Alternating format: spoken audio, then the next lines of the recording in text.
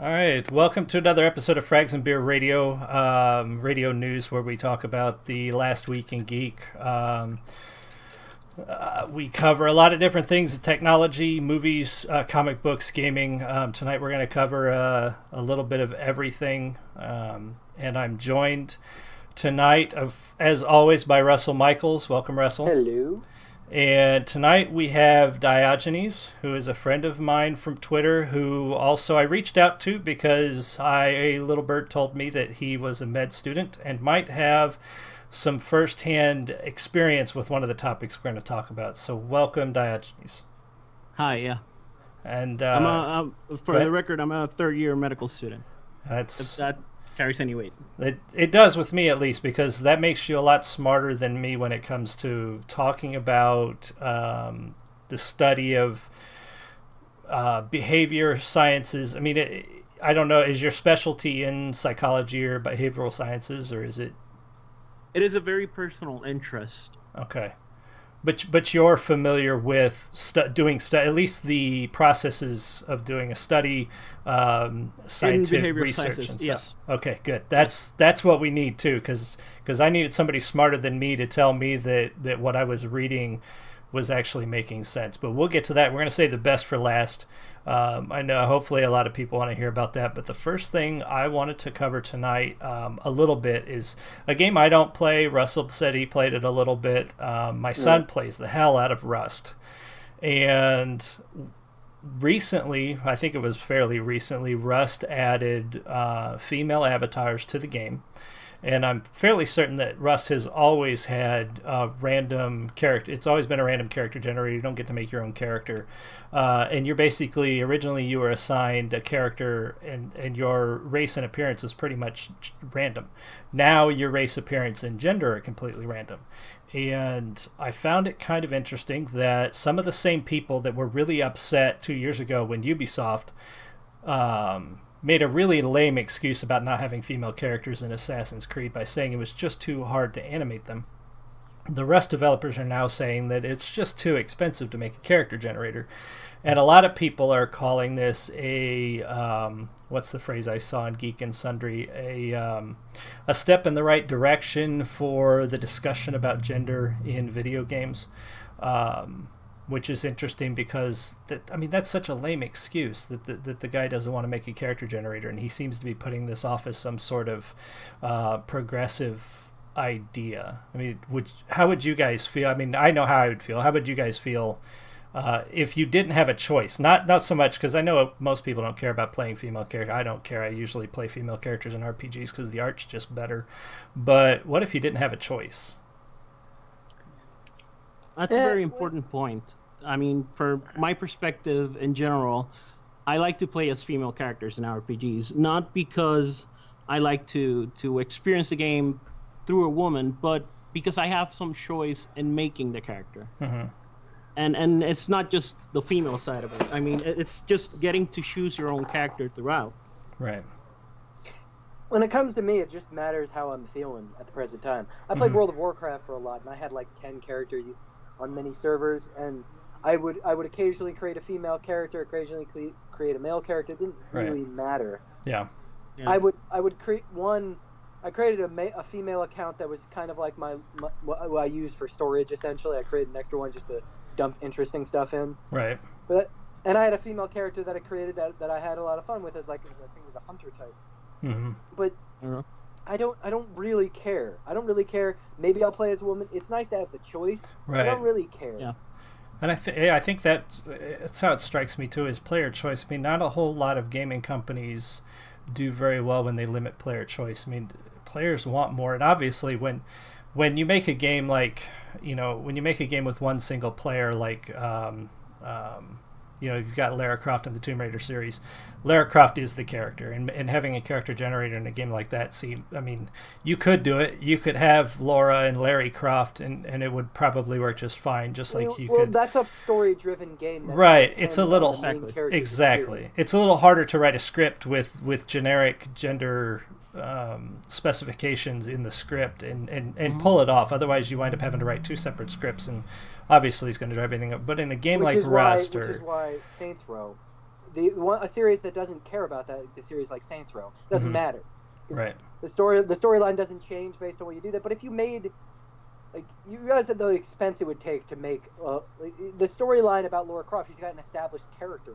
Right, and you would have to write backstory. you'd have to write two separate scripts, and We're that essentially using these to write backstory. That's what right, the Laura and Croft. and you don't hear you don't hear a lot. I mean, uh, Tomb Raider is probably one of the more popular single player adventure um, story games on the market. You don't really don't hear a lot of people complaining. Guys don't really complain that they have to play Lara Croft. They don't they don't care because usually the game is fun enough and the story's good enough that that's that's the important part.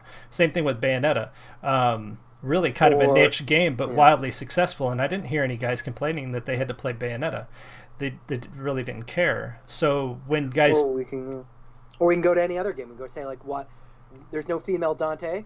Mhm. Fine. There's no female Mhm. Link. We're fine with that. Right. It's just Exactly. the characters themselves. We don't Yeah. need. So I thought I thought that was kind of I thought it was kind of interesting that, that this is somehow such a great thing now, but but they are catching some flack. I what I was reading recently, and this is what kind of got me with the Geek and Sundry article. Is the Geek and Sundry article talks about how good this is and how progressive this is, and how how good this is for the conversation about gender and gaming. And then kind of toward the end, they say, but the transgender community has really given them some pushback on this because they feel it's it's much more impactful on them when they don't get to choose like and, and i can kind of see that a transgender and, and not to speak trying to bring in what i know from people i've talked to and, and what i've understood. a, a uh, uh, transgender person feels like they've been given no choice in life and now they feel like there's something you know they were born as one gender and they don't feel like that's their gender so they weren't given a mm-hmm. choice. And now that they now that medical science and psychological science and, and pharmaceutical science has given them a choice they're pursuing that. And then this game comes out that might be very popular and might be wildly fun and that choice is taken away again. And, and so they're giving some pushback too. And and the geek and sundry article was kind of like oh you know they're getting this this blowback from the transgender community but you know it's still a really good thing. And it's like you know if this had been any other if if if this had been a game marketed towards women if a ton of women played this game this would be a terrible thing because all these women would be forced to play men and that's just terrible. Like don't you feel like that would be the story if that were the case Yeah, I agree. I in the agree original completely. game, in the original alpha of the game, you were all naked dudes. right because they didn't have the Mhm. female Bald avatars naked dudes. yeah and Because- granted granted is i mean it's a survival game it's it's marketed mostly toward male gamers that's probably going to be their target demo and their primary market It's Yeah. a first person game. Right. This is why I don't Mhm. understand it. That shouldn't matter. But you can- Exactly. person. Yeah The only part of the body you see is your hand. well can't you you can do a 3d view on Well, uh, rust i maybe. think i think you can well at person, least there's a third person view. I Okay. think so. The screenshots I've seen, it looks like there is. Otherwise, people are taking screenshots of other characters, maybe from a from a close range or something. But it looks like there's a 3D view going on.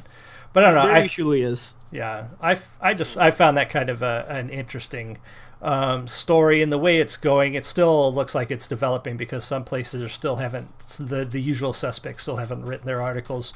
Uh, so I'm sure it will get more interesting as the week goes on when we start hearing from some of the more um, uh, lazy games media when they uh, when they start writing that. Once they get there, I guess once they get their marching orders from the hive mind and start pushing out the articles. Um, so yeah, that'll take us. I guess that's all I had on it. Do you guys have anything else on Rust? Yeah, I, I just wanted to say it's very interesting that as as progressives try to push a narrative, a narrative about progression and giving people, you know, positive representation in video games, you would think that would lead you to choice, Mm-hmm. to give the player more choice over their character, over who they are playing as. Because uh, I mean, there's no conclusive study on whether you can or cannot relate to your character yet Right. the only studies done on this just prove uh, prove that some people can connect to their character and some people can't. Right. So if it varies from person to person, and you're trying to make a game that has a random character generator, why Mhm. not give your players a choice? Right. You know? Have you heard of the Forest? There's another survival game. Rings a bell. like yeah. Yeah. Yeah, Except on the island, you deal with cannibals. They Oh, okay. Yeah, yeah, yeah. Crash on a plane. Yeah, it's a very it's similar type of game to Rust, Mhm. and yeah, I think every character is exactly the same. Yeah. Every every main character, and you can play it on a server with multiple people. It's just that, to be perfectly honest, I don't care that I don't have a choice. Really, it's, Right. it's not. It's not that it's a bit. The mo- the game's in early access. Maybe they plan to do it at some point, but right now, don't really care. Yeah. I'll just I'll Yeah. enjoy the let's plays that I watch of it every so often. Yeah. Yeah. Game So, yeah. Grumps did a really good one. something uh, something interesting I guess to watch going forward. But Yeah. um, so the uh, the next story we were going to talk about, um, I wanted to talk about the social autopsy site. And Russell, this is the first time you were hearing of it, so I wanted to give you a little bit of a um, sort of a drop or the, the the bare bones basics of what this is supposed to be. So they they they claim to already have twenty two thousand entries in their database, which nobody can confirm or verify. So we have really no idea. But what they want to do is they want to create basically a name and shame board. They want people to submit uh, other people who they see saying something hateful or harassing or offensive online. They want them to submit screenshots.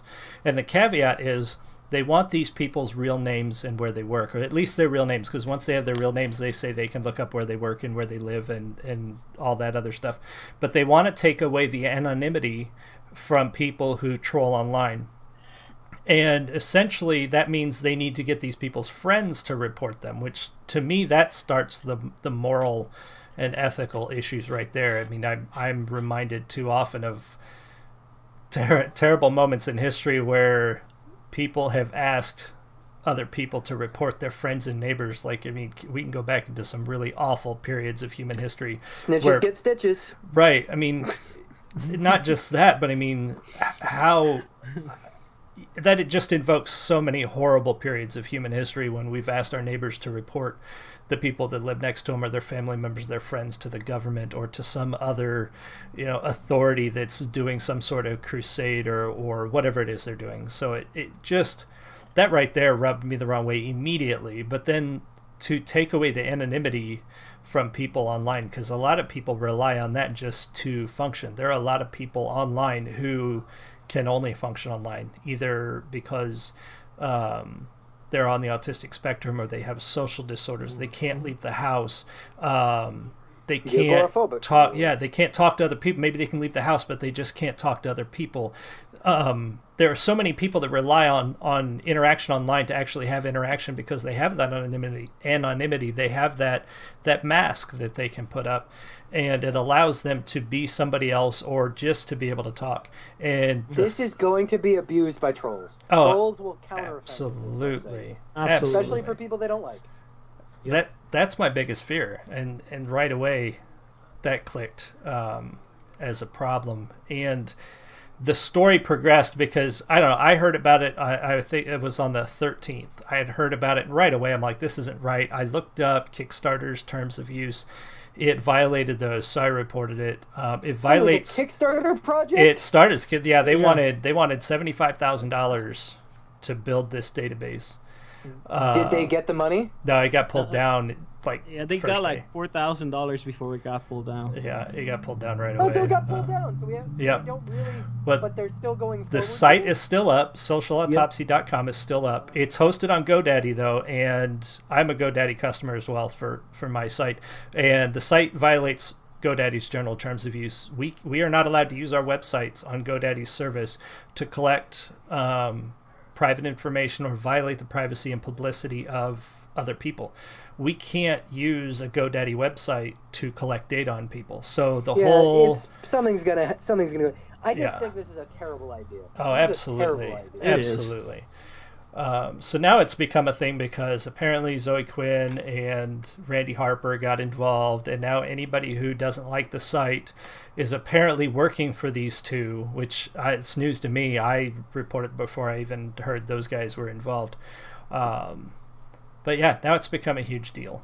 Um, This is not gonna end well. This is I, not gonna I end well. don't think so either. Like it really strikes me as something terrible. Yeah. I I find it completely ironic coming from you know from 2011 when when everybody was learning about the NSA and, and spying on civilians and collecting information. There was a huge uproar against that kind of situation, Right. and now you have all these like like Zoe Quinn's network. You know, Y- you have a lot of people trying to prop up networks which basically do just that. Right. And, it's and- just collecting information on people who you don't like. Yeah, and that's kind of the other thing that, that struck me as off about this is I don't like it, but it's one thing when an elected official or a law enforcement agency who is overseen by an elected official collects data on potential criminals or criminals. Um, it's a completely other thing when a private citizen collects yes. that and then puts it under the header of this person is a harasser. First of all, you're collecting data on other people without their consent, which is not something even even freaking gaming companies put out there. We're collecting your data, and if you don't want us to collect your data, you need to click here and here, and you need to unsubscribe. Like they give you all these options to opt out of that. Mm-hmm. But then to put that under, like that's a crime. Harassment's a crime. If you're going to accuse somebody of a crime, you damn well better be right because they turn right around and sue your ass. You can't just call somebody a harasser and then print that. Like I can call you a harasser all day long, but the minute I print that and put that out on a website or a newspaper or a magazine, that's I better be right, or mm-hmm. you could just take my ass to court and and sue me for everything. Mm-hmm like i don't i don't understand why they don't i don't i don't get why they don't get that. Like why don't they see that as an issue? Because that's that's basically what they're doing. Yeah. Yeah. I, I, it's just not it's just i have no idea why no why uh, why they didn't talk to a lawyer before they did this. Yeah. Go ahead Dio. yeah it, it's it, i find it interesting because a system that is in place like this needs heavy regulating. Mm-hmm. and as you said somebody who's not an elected official or or a group of people who are elected by its constituents, it, it's a very very very gray and dark area. Yeah. Because how who's going to legislate and regulate the system? Mm-hmm. One person who's on top of it. Right. It, it just that doesn't that just doesn't work out. No. And secondly, how are you going to process people who abuse the system? Yeah. Exactly. Because like you said, it's a very it's a very strong legal matter. You can't mm-hmm. just go out there and say X person is a harasser because why? Yeah. Yeah, absolutely. Mm-hmm. So yeah, I guess we're all definitely in agreement on that. Uh, hopefully, I will have, and this is kind of where it, the the whole thing has been really unusual because when they, when they first came out, I, I responded to a few of their tweets, um, called them out on a few things. They didn't really respond. They were responding to other people, and then they put out this challenge uh, we want somebody from the gaming community to explain to us what all the concerns are.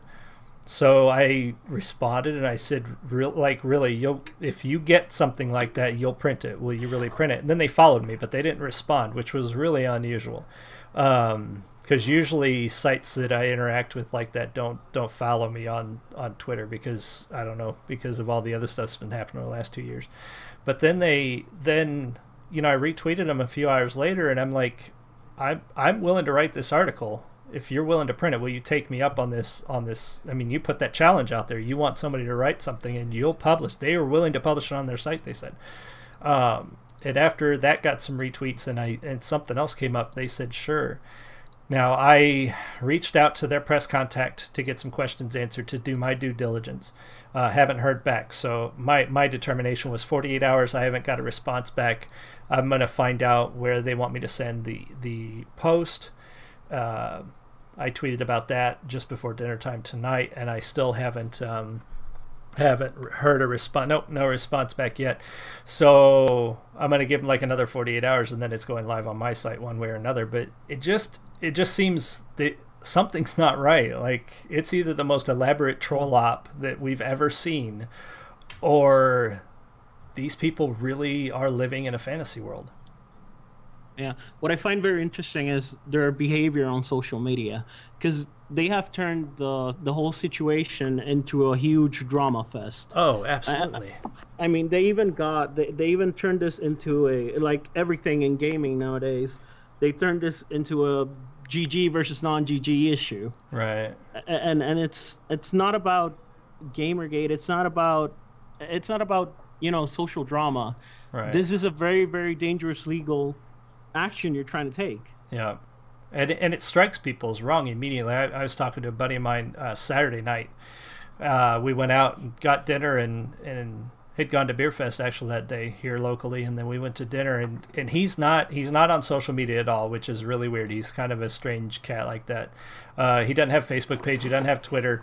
He plays games online but he doesn't interact like with the community all that much. Um, and so he has no idea of any of this and i just gave him basically the quick rundown this is what this site wants to do and immediately he's like that's not right. It, you know if your gut if your gut reaction is something's not right there then something's probably not right you know Yeah. so The other thing that rubbed me the wrong way was um, Owens, the you know the person running the Kickstarter, and, Yep. and Candace, she was the yeah. one involved. Yeah, Candace basically came out saying that this would be a great tool to te- teach children how to use the internet, yes like teach them the the consequences of their behavior on the internet. right And my first thought was, what kid is using social media? Right, and that and that's an interesting point because you're right in the in the frequently asked question video from the 22nd. They she specifically says, of course, they're going to include children in the database because why not? Um, If they're on Facebook and their parents let them be on Facebook, then obviously it's okay. Um, and then the Twitter account said, no, we we're some of the people don't want to do that, and some of our people do want to do that. And then they then we're not sure. And now in this article she wrote, she says we're definitely not including children. But my question is, how will you know? How are you going to mm-hmm. age verify anybody if you haven't? Anybody exactly? Yeah, you have a you have a girl who posts something on Facebook really mean to one of her friends, and her friend submits it. If she's 16, 17, 8 year- 18 years old, she might look 19. She might not. You I've seen 13 year olds that, that look 16, 17 years old. And how will you know? And the problem becomes in the United States, at least, we have the COPPA law. You mm-hmm. cannot collect data on anybody under the age of 13 without parental consent. You can't. It's a crime. Exactly. So I don't know how they're gonna. How are you gonna know? Like you would have to go to them and have them verify their age, and then who in their right mind is gonna go? Sure, yeah, I'm 18, so now you can put me on your name and shame board. Like, Yeah, yeah. It, it's the same issue that propped up in the 90s when the internet became famous. Like, are you sure you're 18? Yeah, Yeah. of course. oh yeah, everybody clicks yes because I want to look at the porn that's gonna download Exactly. from my dial-up, one line at a time. Yeah, of course we all said yes. I'm over 18. So, Yeah. And, and, she, yeah. and she said something that was true. And something that I agree with is the fact that parents aren't doing everything they can today when Right. it comes to social media. Yes. I I mean, we've seen parents give their kids smartphones and access to the internet for no goddamn reason. Because Mm-hmm. Right. where's your kid from 8 to 5? Yeah. Probably at school. So why would he need a phone with access to the internet, you know? Yep. Yeah, my kid But- didn't get a cell phone until he was 16, I think.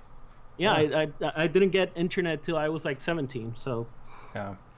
No, and she is right. And and the the thing that strikes me and the part that makes me not think they're completely out of their minds is some of the stuff they say is true. And some of what they want to do is good, just not the methods are really just not there. exactly. Like That's like- my point exactly. yeah. That you you are right when you, when it comes to kids being on the internet and not knowing what they're doing because parental guidance is lacking. But Mm-hmm. you don't go around and say, "Oh, I'm just going to collect data on the minor to Right. protect them." Right. Because it Doesn't doesn't. work that way. I mean, could you imagine somebody at a high school like how how awful was high school if you were bullied? And could you imagine somebody sitting in front of this website punching in all their classmates' names and finding somebody? Oh my God, that would be that would be devastating. You you'd have Yeah. Oh, it'd be And awful. then and then imagine It would be awful, yeah. then imagine it's just that one kid that had access to the internet. mm-hmm. You know, it, it's that one kid who's really good at pus- putting stuff online. Yeah. and he's it's just sitting there gathering data around on all his on all his classmates and basically branding all of them harassers Yeah. either because they don't like him or they were mean to him Exactly. it, it, it's just wrong It- Just- it's Bad news. yeah Bad news. Mhm. Yes, it is. So, speaking of bad news, um, and I want to make sure I have the right the, the article because it was it was funny when I when I caught wind of the new study, and and we're going to use this in quotes because the more I find out about this, the more I find out that this is just a bunch of shit. Um, I think it was Time. Uh, was the first time the, the first publication I saw push this out here, and they literally took the supposition that this study made and used it as a headline that video games cause sexism. Like that that was a new study s- concludes that video games cause sexism. And the problem is the study from what I'm understanding the study didn't conclude that It doesn't. and time didn't even go verify that that's what they concluded they like it's almost like they had somebody like me read the study like the header and the summary of the study and go oh that's what they did and then write up an article which the more i read it the more something felt wrong and that's why i wanted diogenes on because you know, as a layman, I looked at it and went something like the math really threw me because I'm, I'm I'm not good at math, and they and they used a lot of big words obviously because they wanted it to sound really smart. But I did notice a couple things that really stood out as um, off to me anyway. Uh, so from a layman's perspective, I wanted to give that real quick, and then we'll get into the actual, so you can tell me whether I'm completely out of it or or if we're going down the right path here. But the first thing I noticed is is the sample size was extremely small. It was like 150 154 152. 152 people. So it was a very small sample Yeah. size. And then the way they tested the the empathy, what they wanted to figure out is did exposure to certain types of games change your empathy toward a, an image? They had an image of a girl being beaten up by classmates. So I'm, I'm guessing it was probably somebody in their age group because the way they described it made it sound like it was a girl being bullied by other people in their class. So they have these high school students play these video games for 25 minutes, which frankly is not enough time to even get into a video No. game.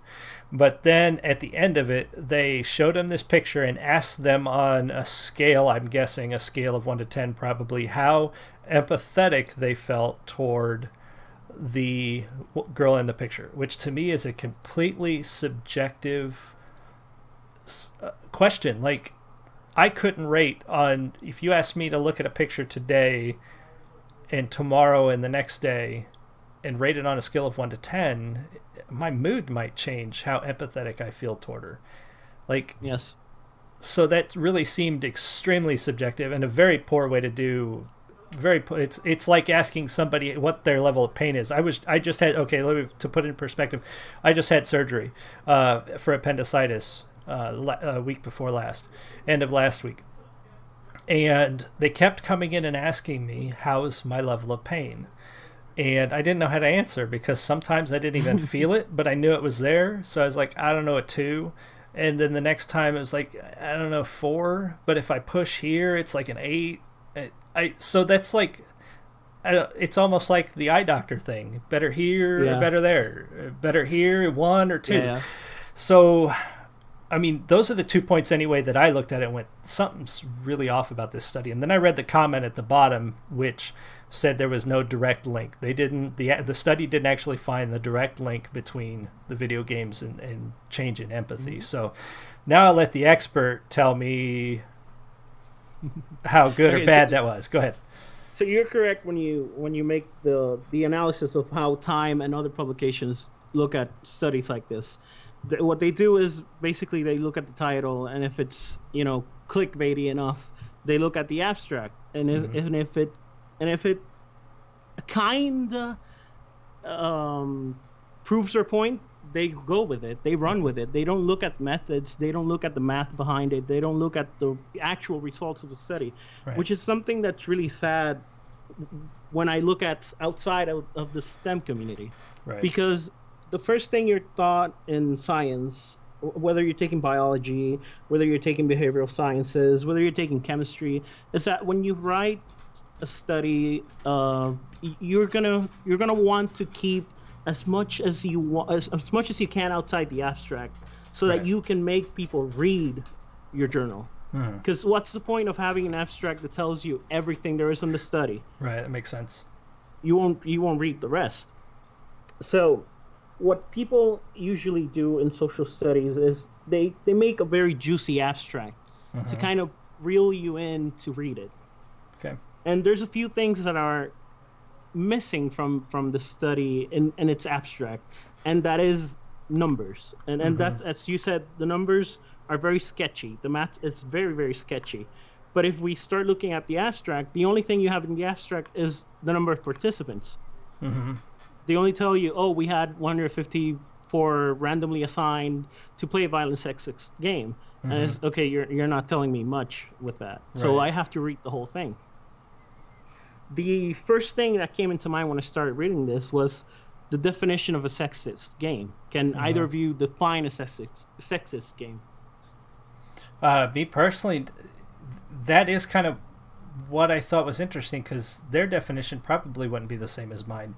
Because they were defining a sexist game as I mean they used Grand Theft Auto and, and Saints Row I believe yeah. um, and their definition was just game that had prostitutes in it or the ability to hurt women but wouldn't to me the definition that would make me carry the definition over to if a game allowed you to beat up all the men that's also sexist against men and since you can do both in those games is it really sexist? Like prostitutes really exist. So including prostitutes doesn't produce any negative stereotype or false narrative about women because prostitutes exist, especially in large cities like are depicted in these mm-hmm. games. So they're going to be there, and crime exists, and people commit and, crime. Like yeah, and we are I, a violent race. Yeah. yeah. a sexist video game, Custer's Revenge.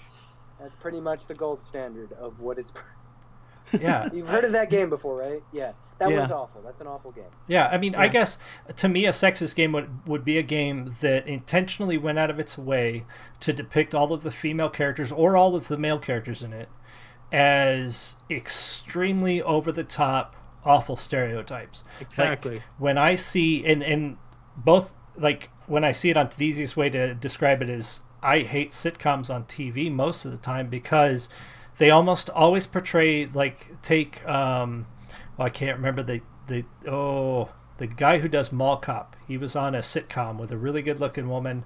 Um, Kevin James. Kevin James. James. Okay, so I can't remember the name of the show, but he was depicted as yeah. So he's depicted as the overeating, bumbling, stupid, clumsy, thoughtless husband. That mm-hmm. stereotype is pushed out in almost every sitcom during the 80s and 90s. Every husband was dumb. Mm-hmm. He was misogynistic. Like, to me, that's sexist because it's producing the same stereotype over and over again, mm-hmm. which is extremely negative stereotype. Just like all, a lot of the, the wives in those shows are, a lot of times they're ditzy or yep. they're careless or they're always wrecking Overbearing. the car or yeah those yeah. that those are sexist stereotypes. So to me, that would be it. It would be a game that goes out of its way to only depict the awful negative stereotypes. That would be sexist. Yeah, well, I was thinking about it. I came up with you know an, an ideal for what I would consider a sexist game, and mm-hmm. it basically is wife beater simulator. That that would be pretty sexist. yeah, that would be awful. I mean, I mean, how can you objectively create a sexist game if it's not you know, directly creating a game where you just beat the living mm, out of your wife. Right. I, I, yeah, and that makes sense because if that were the purpose, like in Grand Theft Auto, granted you can take drugs, you can commit crime, exactly. you can you can interact with prostitutes, but you, you don't have murder to murder everybody. But you, exactly, don't, but have you don't, have, to. to. And and yeah, and that's the key. You do have the choice to do it, but you don't have to. Right. That makes and, total sense. And if you look at the introduction in the in the study, what they say is what they consider a sexist game is any game that has a sexual um, a representation of women. Oh yeah, I remember that. Yeah, and that doesn't make any sense. Uh, yeah, exactly. Because it, it sounds it strikes me off as something very Puritan. Oh, very yeah. Sex sexualization isn't sexism. No. It's not the same thing. And no. you can be a very sexy person and still retain your value as a person. Just because you're very sexy or use sex to gain money doesn't mean you're losing your value as a woman or a man. Right. You know. Yeah. But exactly. the study makes the, but the study makes the assumption, and what's very interesting is that if you're going if you're going to analyze the study, you're going to make a lot of assumptions based on what they give you. Mm-hmm. Exactly. The first one being, uh, they have three types of games in the study. They they expose basically kids because when you look at the average age, it was 16 or something. Mm-hmm. They exposed these kids to games like Half Life, GTA, and some other games like 3D Ping Pong or something. Mm-hmm. Right. And they ascribed. they- decided to put the games in different cat- categories. Uh, GTA was the violent, sexist game. Uh, Half Life was the violent, non-sexist game, and Right. 3D Ping Pong and the other ones were basically the neutral games Yeah. Because they wanted to have some sort of control, like you always do in any, any kind of Right. research. But what's interesting is that in Half Life, if, if you get to kill men and you choose to kill exclusively men, wouldn't that be sexist too? It would be to me, but again, they're going to say that's what we've always done. So why is it an issue? Like that's Or it was the war game. yeah, Exactly. so, so where do you draw the line? yeah. No, you're exactly right. The, the study clearly has a problem in how it defines the, the question. That's that's yeah. That seems to be the biggest the issue big, right up the front. big problem is Exactly. how it defines the question. But in reality, there are are there sexist games? Yes. Yes, I of gave a course. good example of one, Custer's Mhm. Revenge. Yeah, That no There one, are. will, no good person will defend that game. it's No. not a good game, neither in how it plays or what the message of the movie, the game right. is horrible. Exactly. And if some and if somebody ever comes up with wife beater simulator, I'm gonna call it sexist. Yeah. Mm. Oh, absolutely. Uh, but then again, we'll also say that it has a right to exist. It has a right to live and of die on the market. That's the way everything should be. Get punished in the market like it should. yes. Yeah, exactly. Um, so yeah, Uh, go ahead. Okay, so another thing they they define in the study, which is another assumption you have to make, is about masculine beliefs. hmm And what they define them as masculine beliefs is basically negative. Yeah, Mas- they define masculinity as being as being aggressive, as being somebody who's willing to damage others. Mm-hmm. And they say that this is what masculinity refers as, as a normative belief about how men are expected to think. right. Which is yeah. Go ahead. Yeah, and, and when you look at the questions they used in this category, they asked the kids whether they were they were willing to do anything in their power to have sex with a woman.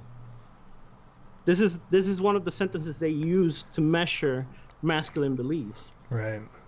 which is kind of begging the question because you don't know if that kid is going to say yes, but in the back of his mind he's saying, "Of course I would never drug her or rape her or Right. you know."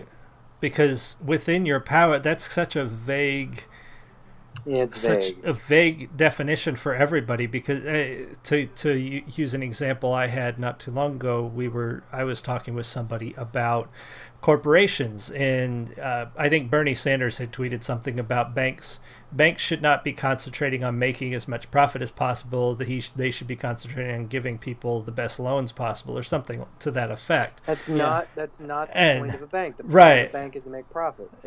so that they can give Certainly in the loans the yes, more they make The raison d'etre But- of a private company is to make money. Right, but when I responded to that, I got a little bit of pushback from one of my followers who basically said that makes corporations corrupt because they're willing to do and or they're they want to make as much money as possible, and to make as much money as possible, you automatically have to do corrupt things in order to do that. Within And the s- law. with- Within and- the law, yeah. well, and even he said he even said they would do shady things or corrupt things that are still legal in order to make as much money as possible. And my descri- my basic description was, even if I say I want to make as much money as possible in my life, as possible means as possible for me. Eventually, I'm going to hit. Eventually, I'm going to hit my moral limit. Mm-hmm. I want to make as much money as possible, and to me, possible hits a wall when it comes to committing a crime or hurting somebody else. So, when you say, "Are you willing to do anything within your power to have sex with a woman?" Anything within somebody's power, they could automatically have these limits in place that says, "Well, yeah, I'm I'm willing to buy her flowers. I'm willing to take her to dinner. I'm willing to treat her awesome. I'm willing to do anything within my power." Oh, wait a minute. You mean get violent and use drugs? No, I wouldn't do that. No, exactly. They, and they yeah. didn't follow up with that question. They, they didn't follow up with the question, "What would you do?" Right. Which that's the determining factor right there. Exactly. And and and to me personally, I think they intentionally left that out It seems so, yeah. because Yeah. how do you not how do you not follow a question like that with "What would you do?" Right. Because you've got to know what's the range. I mean, that's that's what a study is for, is to find out the limits of human behavior. So you've got to explore those limits, right? Mhm. Mm-hmm. There's another assumption when they're starting to build a premise. And, and keep in mind we still haven't built the methods for this study. This is just the inter- introduction right. of the study. So the other assumption they made that it was that violent games would affect men more than they will affect females wh- when it comes to empathy. Hmm which which I think is is very you know it, it's very idiotic because how can you tell me where if, if you see a pattern of men losing empathy for women because they're beating them in a video game wouldn't it do the same thing for women I would think so. presumably. Uh, there's no there, there's no as, as far as i know in neuroscience there is no basic difference in the development of empathy Right. Yeah. men and women have the same capacity for empathy. So if men and women have the same capacity for empathy, you would think that it would affect them to some extent. It should. Yeah. But this study just assumes it won't. Yeah. That's not a that's not a good assumption to make. You you should at least ask the question. You know. It's, exactly. So yeah, that. So and and if I remember right, let me see if I'm remembering our discussion on this. And they did not even ask the female participants about the empathy factor, did they? They, did, they did. However, it does not factor in the conclusion. They didn't use That's- it. That's yeah, they didn't use the numbers for the gotcha. conclusion. Okay, that's right. That, that was the problem. Gotcha. So so we don't even know if those numbers would have changed the conclusion at all because they weren't even included. So Exactly. either they weren't included because they were inconclusive or they weren't included because they did change the assumption that they were making. And Mm-hmm. in either case, we just don't know because they didn't put them in there. it's a very it's a very sketchy play with numbers because when you look at the conclusion segment what they say about those numbers is that they weren't significant Hmm. however the differences in empathy between the games was not significant It yet didn't look like it, yeah. No, no, it wasn't. I, I ran this through what we basically do when we do statistical analysis is we use a t-test, Mm-hmm. which is a test to determine whether two different means of a, uh, two different mean results are significantly different or the same. Right. When I ran the the wh- whatever little results they actually gave in the study, because there's no actual raw data in this study, Right. there's no significant difference between the empathy in playing a violent sexist game, playing a violent game, or playing a neutral game. It was not significant. However, in the conclusion, they tie in the strong masculine beliefs Mm-hmm. with the difference in empathy for men, which is a number they don't have in the study, and say that in, there's an indirect correlation between in, an increase in masculine beliefs and a decrease in empathy for women. Gotcha. And that's where I got I got a little confused when I was reading it because when I first went over the summary and, and what I could understand um, in the the methods, it almost sounded like they were saying that an increase like I had to read it again to find out that they actually showed them a picture and asked them what they thought of the picture. It almost read like they were saying an increase in masculine behavior or how the male players um, identified with the male characters was a direct like like they just took out the whole empathy thing and they just said the higher their masculine thoughts the less empathy they automatically have that's how it read until i went back again so it so it does really come off like they're trying to say that because a cursory reading of it it really comes off as just well the more masculine you are the less empathy you have so And and that was go. basically the point of the study. I mean, at least that's what people are running with. yeah that's But it's not what it showed. What the study basically showed was that in, in, in a small period of time, you can see an increase in masculine behavior.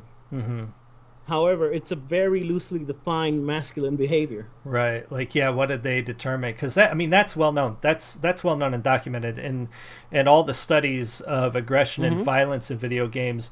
Every Mm-hmm. And not just study, video games. Yeah, well, And not just anything, any kind of Anything. entertainment Yep. that you that you take, they say that during and shortly after whatever whatever you're participating in or whatever you're consuming, whether it be a violent movie or a violent video game, during and shortly after, you have an increase of aggressive feelings or mm-hmm. uh, like they say in younger children, they tend to, and we see this if you have kids or if you've ever been around kids, they watch a really cool like action movie, and for the next hour they're running around like they're action heroes, kicking and throwing things and, yeah. and carrying on. But then it goes away because we're human beings and we generally know the difference between fantasy and reality. Exactly. And that and that brings up the other point i wanted to make with this study. When you look at the average population they were 16 year olds. And mm-hmm. there's something very important when you consider teenagers it is a widely known fact and i sent you a i sent you basically right. a literature revision of it of a neurological basis for consequential thinking. Right. Yeah, I, I kind of skimmed it, but yeah. I'm, it is uh, very, very well established yeah. that the differences in adolescents and in you know men or women isn't that the brain mass is changing, but there is an increase in the in the amount of white matter in the brain, mm-hmm. which is a result of of and, and forgive me if I get too technical with this. Is there's a difference in myelination of the brain which basically just means your neurons are firing at better rates and connecting better. Yeah. So there's better association between your neurons. So you're capable of doing higher reasoning. Right. And the the reason I state this is because I sometimes jokingly say that kids are stupid, but I'm not kidding. Kids are stupid. Yeah. Kids don't yeah. have the ability of consequential thinking. Yeah, they're still developing that. Exactly, and and especially in the prefrontal cor- cortex, which is the part of the brain that's considered to be involved in behavior. Mm-hmm. Mm-hmm. You have we have a study by by um, a guy named Thompson back in 2000 that said that you know the the kid's brain changed dramatically after three years old. Right. However, it's been noted that it's not up, up until you're like 19 or 20 something that your your frontal cortex is fully myelinated. Yeah. Mm-hmm. So you are lacking the basic tools for logical reasoning.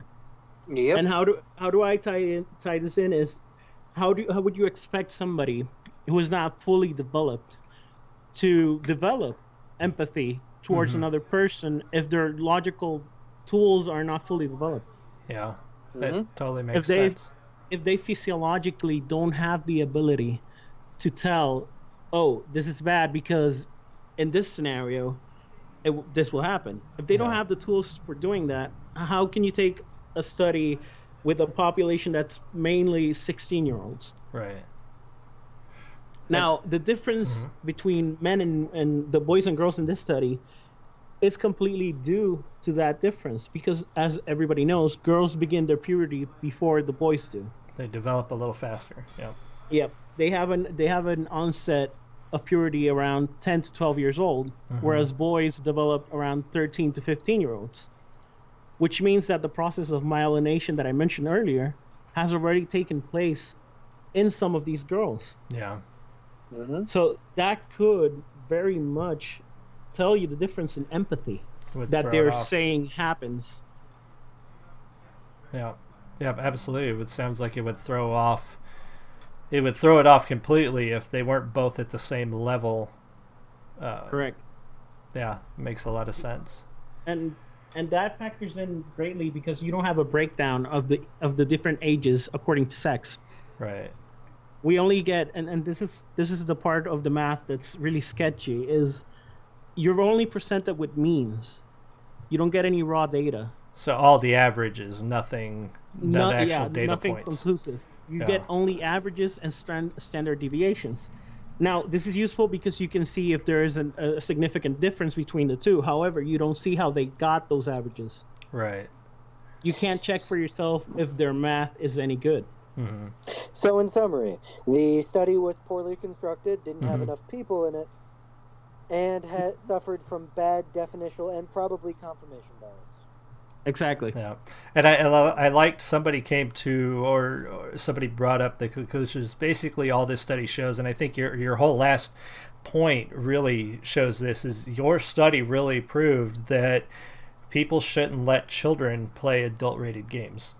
is, Exactly. is really that's the only thing that this study really Mhm. showed and and so then you ask where do they get off giving because as far as i know uh, what the study was done in italy um, where if i'm not mistaken the the mature rating for games is actually higher than it is in the united states It is. It's Uh, 17 in America, so maybe is it 18 there? Is it PEGI 18? I think it's something? 18, yeah. 18. So so they went even further and gave these literally 18 adult rated games to children, Mm-hmm. which we're not supposed to do anyway. Uh, and then tried to create a study out of it. So it uh, really dropped the ball on so many levels. A good point that came out of this study for me, at least personally, was the amount of empathy this kid showed. Because when you look at the data, it, it, it went from one to seven. hmm Okay. And if you look at the means and the empathy for victims of, of violence, you had the neutral game came up with 5.03, the violent only game came up with 5.29, and the violent sexist game came up with 5.02. So these some these are some pretty empathic kids. Yeah, and and it sounds like they were more empathetic after playing the violent sexist game. Exactly. Or uh, well, I'm sorry, no, the scale went down They- a little they- bit. they were- so- It went a little bit, but they were equally empathetic when they were playing a neutral game when they were playing a violent sexist game. Yeah, and to me, a point, uh, uh, .01. a .01 variance, that's not a whole lot. That really is nothing. isn't. It's, it's very insignificant. That's that's nothing. You know, especially when and- we're giving such a subjective rating. Um, Yeah. And the that. problem is that they say that this only happened in boys. However, the data you're given is is just a means of boys and girls when they gave their results. Yeah. So you don't There, even there's no separation of the value, so you don't know. Wow. So yeah, that's the kind of stuff that we gamers get to read all the time about how awful we are and how sexist our games are and the violence that it causes and then we look deeper and realize that our media is just a bunch of brain dead idiots that will post anything that science puts sciency words in front of and posts on a site. So Yep. great fun. Uh, thankfully, uh, I've lived through it before. I'm I'm wearing this because in remembrance of, and you guys can't see it, but I'm wearing a Dungeons and Dragons shirt with the classic red box logo on the front of it. Um, unintentionally, I didn't I didn't wear it intentionally for tonight, but I put it on, and now I'm realizing that I went through this in the late '80s and early '90s with with role playing games, and now we're going through it with games, with video games, and it's the same same like Russell said, same moral panic bullcrap in a different paint job, different mask. Um, back in my Yep. day, it was the religious right and the Puritans who hated rock and roll and Dungeons and Dragons, and now it's these Yep. neo Puritans. I've been calling of these uh, supposedly progressive, liberal, free, everything people who really just want to do the same thing. They just want to control it because they don't like it for one reason or another. So Yeah. That's what we get to deal with. So Yeah. that pretty much concludes everything we wanted to talk about. Um, thank you guys so much for joining me tonight. Thank you, Diogenes, for doing the research because I know you did um, some hard work looking at that study and writing up your problem. analysis. And uh, I really appreciate it. Hopefully, the viewers appreciate it because it gives us a better view than we've been getting. Because even some of the articles that tore that study apart really didn't give us an educated view of it. They just kind of said this is bullcrap because it doesn't make any sense to me, and it didn't make any sense to me either. But it doesn't make any sense to me because I don't deal with those kinds of things every day, and it's been a long time since I did scientific anything. Um, high school was well over 20 years ago, so uh, so that's why we uh, we're glad to have you. Thank you guys. Yeah. And I think this will conclude our show. Thank you everybody for watching, and this will be up on YouTube if you missed it. But uh, we'll see you next week. Mm-hmm.